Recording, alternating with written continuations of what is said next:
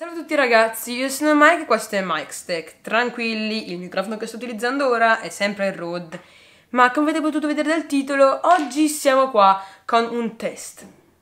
Sto parlando del test di ben tre microfoni, ovvero del Rode, dell'Onair e del Lavalier. Il Rode sarà collegato alla mia Canon 700D, l'Onair sarà collegato al mio computer tramite il cavo XLR e il Blue Smart sarà collegato al mio iPod Touch di quinta generazione. Per assicurarvi che qua c'è il mio microfono, il Rode eccolo qua e sta e sta funzionando proprio ora. E noi li riportiamo su. La qualità che state sentendo ora è l'audio della mia Sony HX90, ok? È parecchio schifoso ora perché sono parecchio lontano. Purtroppo non posso farvi sentire anche l'audio della Canon. Ditemi se vi piace questa doppia inquadratura con la Canon e con la Sony di qua. In questo caso la Sony qua perché quando ci saranno i video esattamente fatti bene al tavolo la Sony sarà sopra. Ora sto registrando simultaneamente da tutti e tre i microfoni. Quindi facciamo un piccolo test. Questo è l'audio del Rode Video Micro, il microfono che utilizzo normalmente per tutti i miei video. Questo è l'audio del Blue Smart Lavalier, questo è il Lavalier che vedete qua. È un microfono comodo, ma allo stesso tempo non tanto perché, perché ha una qualità sì buona, ma non cattura soltanto la vostra voce, bensì tutto quello che sente attorno. Il Rode Video Micro invece ne sente un po' di meno.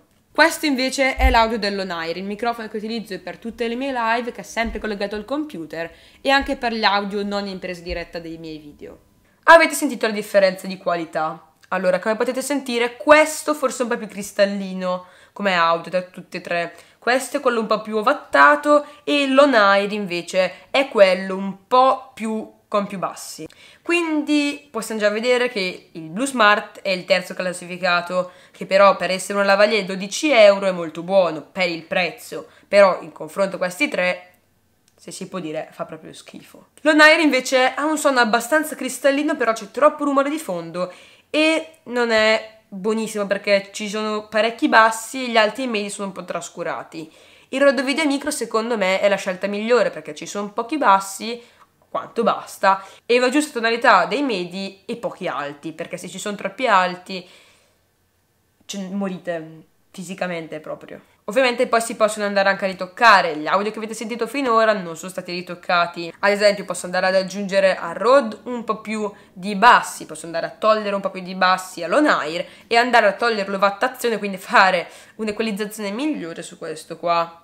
Allora vi parlo un po' di quello che ci viene dato da confezione dei prezzi, per vedere se ne vale la pena per quel che costano. Cominciamo dal più economico, il Blue Smart Lavalier, un microfono dalla modica cifra di 12 euro e viene dato in questa bellissima confezione Blue Smart in finta pelle, però veramente molto carina.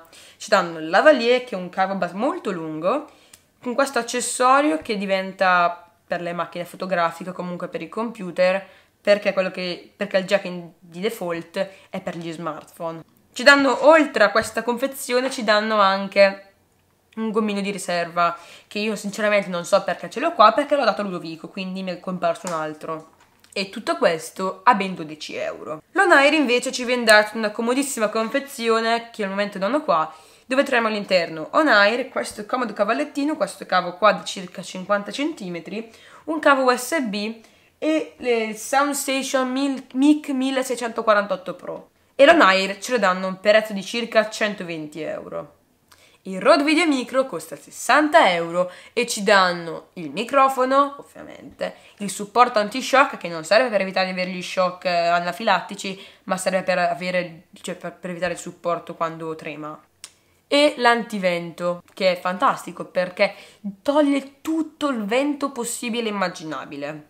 Ci danno anche un piccolo cavo rosso, che è spettacolare come colore, per attaccare alla nostra macchina. Io in più però, per averlo così lontano, ho anche comprato una prolunga e dovuto sostituirla qualche giorno fa perché si era danneggiata. Bene ragazzi, spero che questo video vi sia piaciuto, ditemi qual è il vostro miglior microfono tra questi tre e che microfono avete voi. Da Mike è tutto e noi ci vediamo lunedì prossimo con un prossimo video.